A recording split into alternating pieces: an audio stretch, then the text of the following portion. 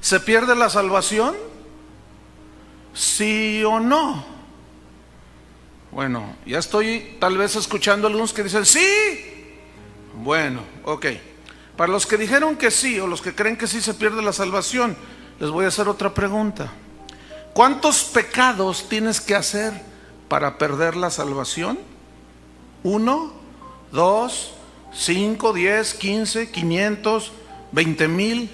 ¿Cuántos? Otra pregunta para los que creen que la salvación se pierde. ¿Cómo obtenemos la salvación? ¿Por obras o por fe? Ahora sí respóndanme. ¿Por fe? Según Efesios 2, 8 y 9, que somos salvos por, medio, por, la, por gracia somos, sois salvos, por medio de la fe. Y esto no es de vosotros, sino es un don de Dios, no por obras para que nadie se gloríe. Entonces, si obtenemos la, salvación por fe, hago otra pregunta.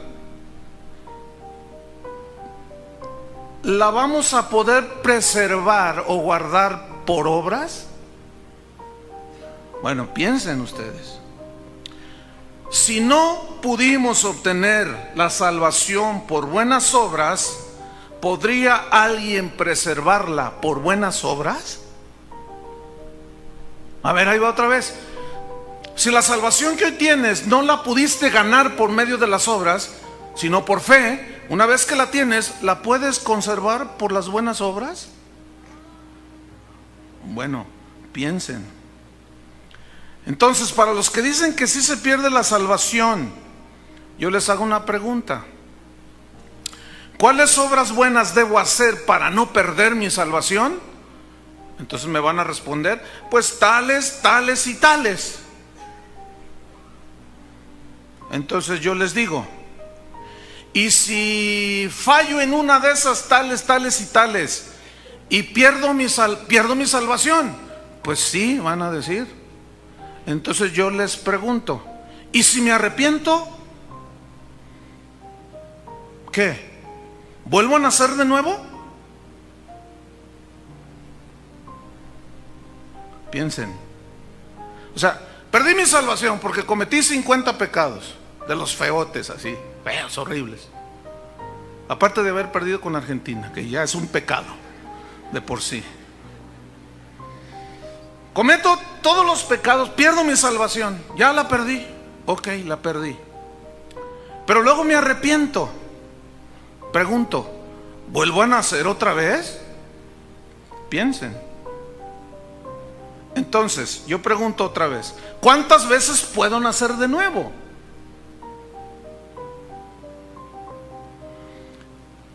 cada vez que pierda mi salvación? La respuesta simple es no. Ahora yo necesito anclar eso en la palabra de Dios, porque nadie debe creer algo, eh, sobre todo de manera dogmática, si no lo puede encontrar en la palabra. El apóstol Pablo escribe a los Efesios en 2, 8, 9 y claramente dice que um, la salvación es un don, es un regalo de Dios. Y dice inmediatamente cómo se obtiene. Dice que es por gracia, por medio de la fe, no por obras para que nadie se gloríe. Claramente en ese texto el apóstol Pablo excluye el rol de las obras completamente para la salvación y me deja ver también que es un regalo. Piensa por un momento si alguien te regaló algo, ¿cómo lo hizo? Él no te preguntó que te gustaba, él no te preguntó si tú lo querías, si tú lo deseabas. Lo único que tú puedes hacer es abrir la mano y recibirlo y dar gracia por el, regalo, dar gracia por la, el obsequio que se te ha hecho. De esa misma manera, así es la salvación. Entonces la salvación no es por obra. Si quisiéramos hablar de salvación por obra, tendríamos que decir que sí, que es por obra, pero las obras de Cristo. Entonces, esa es la salvación que es por obra. Alguien tuvo que obrar, pero no eres tú ni soy yo. Cristo obró a favor de nosotros, cumplió todas las obras de la ley y eso era necesario y luego fue a la cruz y se ofreció como sacrificio vivo y santo, sin pecado, sin mancha en lugar mío, de tal manera que luego yo pudiera ser perdonado por medio de lo que Él logró en la cruz y ser declarado justo. Declarado justo, no soy justo en mí mismo, sino que soy declarado justo. De la misma manera que yo no hice nada para ganármela, de esa misma manera yo no puedo hacer nada para perderla. Alguien pudiera decir, bueno, pero entonces implica eso que tú puedes vivir como tú quieras después que recibes salvación. No, la única persona que puede desear vivir como quiera después de la salvación es un incrédulo, lo cual su problema entonces sería no su libertinaje, sino su falta de conversión. El cristiano tiene el Espíritu de Dios dentro, mora en él y por tanto ese Espíritu de Dios que mora en él produce en el cristiano nuevos deseos, nuevos frutos, nuevos anhelos, nuevos, ah, nuevas atracciones. Y ese cristiano entonces poco a poco va odiando su propio pecado, se va alejando de él y va queriendo complacer cada vez más a Dios de manera natural, por lo que el Espíritu viene haciendo en él. La palabra de Dios está repleta para ayudarnos a entender que la salvación no se pierde. Y pudiéramos citar varios textos. Por un lado, Filipenses 1, 6 dice que aquel que comenzó la buena obra en vosotros será fiel hasta completarla o hasta el día de Cristo Jesús. Por otro lado, Juan 10, eh, versículo 27, 28 hasta el 30, nos dice que nosotros estamos en la palma de la mano de Dios y que nadie nos puede arrebatar de aquel lugar con lo cual tenemos garantía. Entonces de que permanecemos en Dios, no porque nosotros somos tan fieles, sino porque Dios es fiel. Hasta el punto que Pablo le dice a Timoteo que cuando nosotros somos infieles, Dios permanece fiel. Es la fidelidad de Dios que me preserva en el camino. Y finalmente el apóstol Pablo en el capítulo 8 de Romano, en los versículos finales, versículo 36 al 38, alrededor de ese texto nos dice que nosotros estamos garantizados en Dios porque ni la muerte, ni la vida, ni lo alto, ni lo bajo, ni lo profundo, Ah, ni ninguna otra cosa creada nos podrá separar de Dios en Cristo Jesús. Pablo habla incluso que ni los poderes, ni los ángeles, ni principados, ni ninguna otra cosa creada que me incluya a mí mismo nos puede separar del amor de Dios en Cristo Jesús. En Cristo está nuestra garantía. Pon en una hoja la palabra salvación, con, tres, eh, tres líneas que se derivan la palabra salvación. La salvación cubre las tres etapas del ser humano. Esto es, cuando hablamos de que una persona fue salvada, estamos hablando de tres etapas. La salvación en primer lugar. En la primera línea ponle, fuimos salvados ya de la condenación del pecado. Esto es lo que se llama la justificación. El cristiano que recibe a Cristo, la muerte de Cristo, le perdona los pecados pasados, presentes y futuros. Romanos capítulo 6. Nosotros, mediante el bautismo del Espíritu Santo, cuando nos coloca el, Espíritu Santo en el cuerpo de Cristo, en ese momento, dice la Biblia que cuando Cristo fue enterrado, tú fuiste enterrado con Él y yo también. Esto es asombroso. Cuando Cristo murió en la cruz, tú y yo estábamos en la cruz, morimos con Él en la cruz. Romanos capítulo 6 del 1 al 4. Y cuando Cristo resucita, resucitamos con Él. Efesios capítulo 2. Estamos ya sentados posicionalmente en el reino de Dios. Ya no nos considera Dios reinando de arriba con Él. Pero abajo experimentalmente tenemos que cumplir para demostrar realmente que nuestra posición es real. Entonces, la primera parte de la salvación es la justificación. Romanos 5.1, justificados por la fe, tenemos paz para con Dios por medio de Jesucristo, ya ya, no, ya no estamos en pleito con Dios, Dios no nos considera enemigos.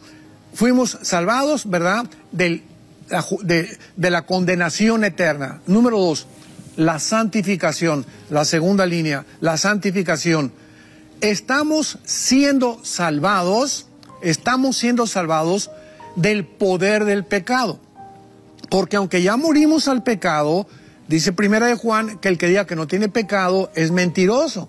Entonces, ¿qué es un cristiano? Una persona que está en un proceso de luchar con una fuerza que tenemos dentro, que se llama el pecado, a través del poder del Espíritu Santo.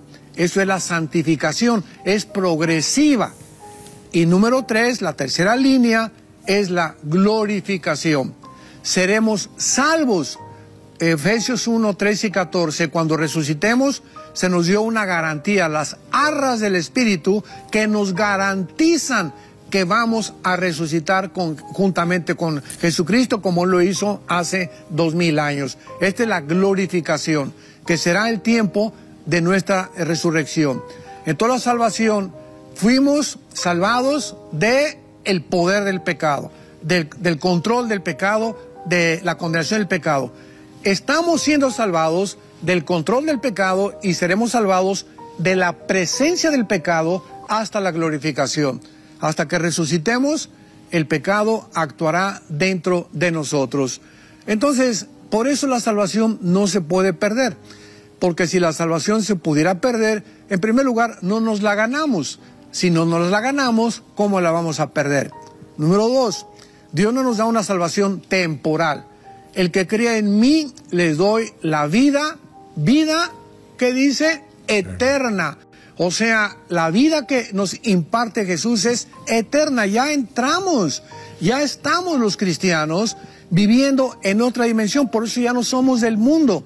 Ya pertenecemos a otra dimensión completamente diferente, que es la eternidad. Ya estamos en la eternidad los cristianos.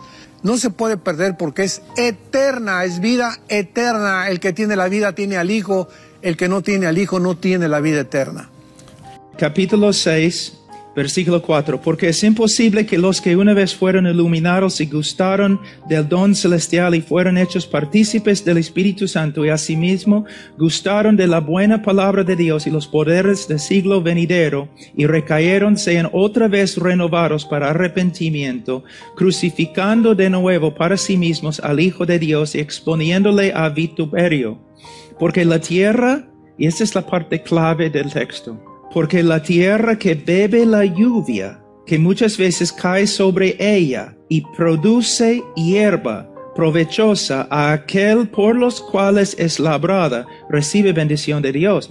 Pero la que produce espinos y abrojos es reprobada, está, próxima a ser maldecida y su fin es el ser quemada.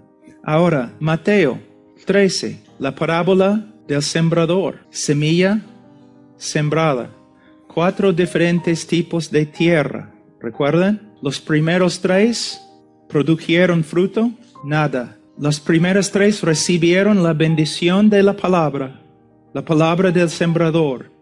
Ninguno de ellos, de los primeros tres, de las primeras tres tierras, produjeron fruto. La cuarta, sí. Mira lo que está diciendo acá. Es lo mismo. Siete, porque la tierra que bebe la lluvia que muchas veces cae sobre ellos, ella y produce hierba provechosa, aquel por los cuales es labrada recibe bendición de Dios. Es la tierra buena que produce fruto y demuestra por medio de su fruto que de verdad es creyente. Pero, dice, la que produce espinos y abrojos, estas personas nunca producían fruto, nunca. Entonces yo creo que debemos relacionar esto con la, parábola del sembrador y la enseñanza que se encuentra en todo el Nuevo Testamento. Simplemente de nuevo, la evidencia de la fe verdadera es el fruto de la vida de una persona. Una persona nunca produce fruto, no es creyente. Ahora, tenemos que mantener esta enseñanza también en el contexto de perseverancia, una de las evidencias más grandes del cristianismo verdadero es perseverancia. Una persona puede confesar a Cristo y un tiempo parece también que lleva fruto, pero en tiempo deja de llevar fruto y vuelve al mundo. Entonces Pablo dice en Filipenses capítulo 1, el que comenzó en vosotros la buena obra, la perfeccionará. En este caso, no. Ellos no perseveraron en el Evangelio y en la verdad de Cristo. Entonces, hermanos, las advertencias de apostasía son necesarias, son verdaderas, pero las, las advertencias se predican a toda la congregación. Y dentro de la congregación, de todas las personas que confiesan a Cristo, no todos son creyentes. Y los que se apartan de la fe cristiana demuestran que nunca han sido salvos.